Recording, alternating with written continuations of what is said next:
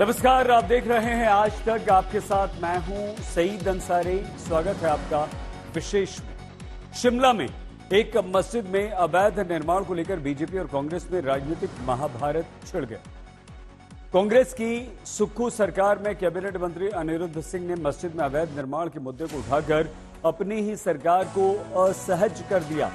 मंत्री अनिरुद्ध सिंह ने विधानसभा में पूछा कि जब एक मंजिल की स्वीकृति मिली थी तो पाँच मंजिल कैसे बना लिया आपने उन्होंने शिमला में मुसलमानों की बढ़ती आबादी पर भी सवाल उठाए। अब मामला अदालत में है। पूरे विवाद पर मुख्यमंत्री सुखविंदर सिंह सुक्खू कह रहे हैं कि शांतिपूर्ण प्रदर्शन से हमें आपत्ति नहीं, लेकिन कानून व्यवस्था बिगाड़ने वालों के विरुद्ध कड़ी कार्रवाई हम करेंगे।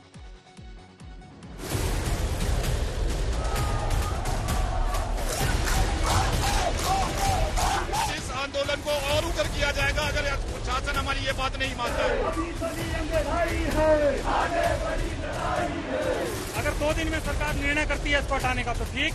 अन्यथा हिंदू समाज अपना रास्ता स्वयं तय करेगा।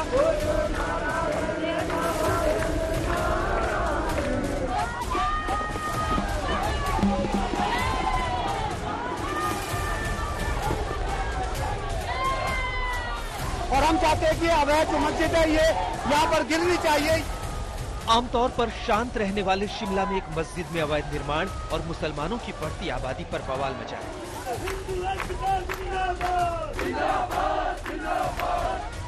स्थानीय लोगों ने मस्जिद में अवैध निर्माण को लेकर मोर्चा खो दिया है।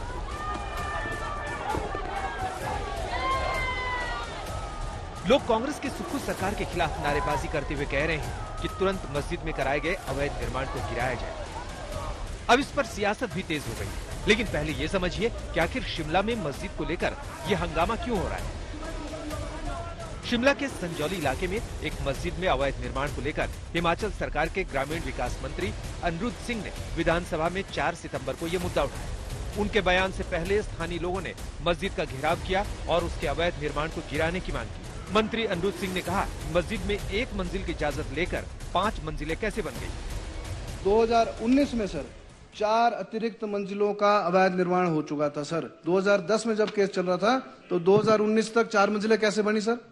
प्रशासन कहाँ से हो रहा था? म्यूनिसिपल कॉर्पोरेशन कहाँ से हो रहा था, सर? आज संजोली बाज़ार में छोड़ो परे लोर बाज़ार में चाहे लोर बाज़ार सुरंग के अंदर औरतों का, सर, चलना मुश्किल हो गया, ये मैं बोलना चाहूँगा आपको। ऐसे ऐसे कमेंट पास होते हैं। मैं व्यक्तिगत गवाह हूँ उस बात का मैं। आज क्राइम हो रहा है, ड्रग्स का क्राइम हो रहा है। चोरियों चोरियों, चोरियाँ हो रही हैं, सर। लव जिहाद, जो सबसे बड़ी बात है, सर। इसके ऊपर भी ध्यान देने वाली बात है। मस्जिद में अवैध निर्माण मामले में शिमला के चौड़ा मैदान इलाके में हो रहे प्रदर्शन में कैबिनेट मंत्री अनिरुद्ध सिंह भी शामिल हुए। हिमाचल विधानसभा में कैबिनेट मंत्री अनिरुद्ध सिंह ने कहा कि जब मस्जिद में अवैध निर्माण हो रहा था तो प्रशासन ने मस्जिद का बिजली पानी का कनेक्शन क्यों नहीं काटा? उन्होंने कहा कि शुरुआत में मुस्लिम समुदाय के इस इलाके में सिर्फ़ 190 लोग थे तो वो इतनी जल्दी 1900 कैसे हो गए?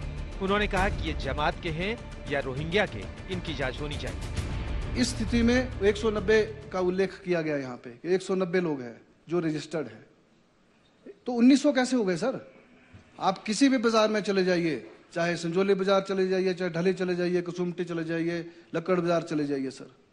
जगह जगह पे लोगों के चलने की जगह नहीं है। मैं आपसे मांग करता हूँ कि इसको जो हटाया जाए 190 की 90 लोगों की वेरिफिकेशन करी जाए और बाकी जो है साफ़ करे जाए सर। उन्होंने विधानसभा में मुख्यमंत्री सुखविंदर सिंह सुक्खू से इसकी जाँच कराने की मांग की। खास बात यह है कि जब उन्होंने इस मुद्दे को सदन में उठाया तो उनकी पार्टी कांग्रेस की तरफ़ सन्नाटा था।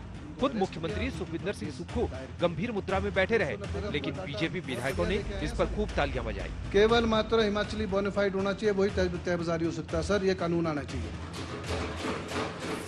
पॉलिसी जो है वो फ्रेम होनी चाहिए सर।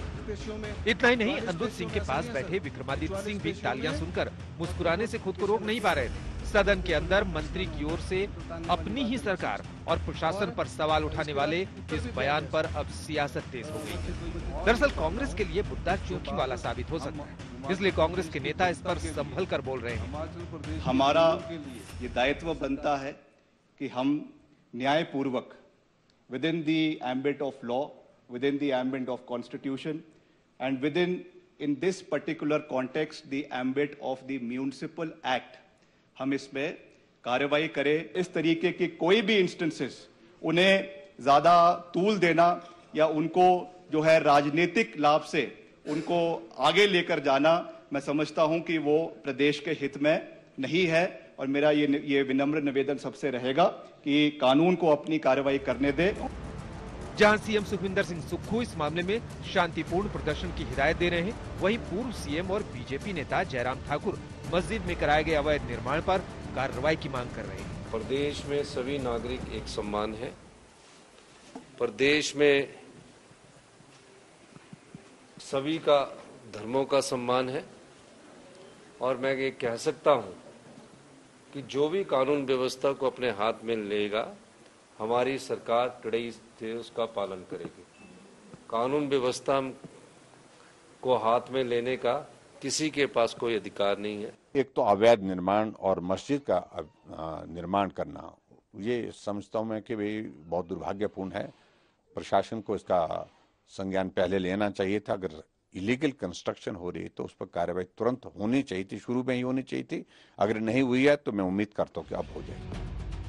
अब मस्जिद में अवैध निर्माण से शुरू हुई इस विवाद की आग मुस्लिमों की बढ़ती आबादी तक पहुँच गई है, जिस पर बीजेपी और कांग्रेस में आपस में जुबानी जंग जारी है। विकास शर्मा, शिमला, आज तक। हिमाचल प्रदेश सरकार की ओर से सदन में दिए गए बयान के अनुसार, जिस मस्जिद को लेकर विवाद हो रहा है, उसके बारे में दस्तावेज़ क्या कहते हैं, वो हम यहाँ पर आपको बताते हैं। मस्जिद का उल्लेख रेवेन्यू रिकॉर्ड में दर्ज है, लेकिन इस मस्जिद को लेकर पहली बार नगर निगम में शिकायत 2010 में हुई, जब पुरानी मस्जिद तोड़कर बिना स्वीकृति के नई मस्जिद बनाई गई। जबकि वक्फ की ओर से 2012 में मस्जिद बनाने का एनओसी लिया गया, दी गई, इसकी एप्लीकेशन दी गई। उसके बाद एक प्रतिवादी ने एक मंजिल का प्रस्तावित नक्शा नगर निगम में जमा कराया। 2018 तक चार मंजिल बना ली गई। 2023 में निगम को ये पता चला कि प्रतिवादी तो वक्फ बोर्ड है। उसके बाद नया नक्शा मांगा गया और अदालत में सुनवाई अभी जारी है।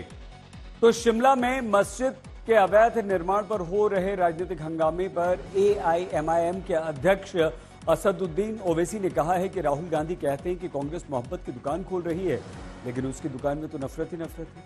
वहीं मस्जिद के मौलवी ने आज तक से बातचीत में कहा ये मस्जिद उन्नीस से पहले बनी हुई थी और नया निर्माण नौ साल से नहीं हुआ, जबकि पड़ोसी ये दावा कर रहे हैं कि मस्जिद की बनी सभी चार मंजिलें 2019 में ही बनकर तैयार हुई हैं।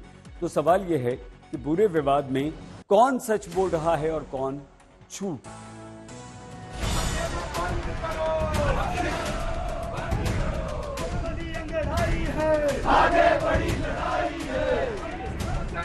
जो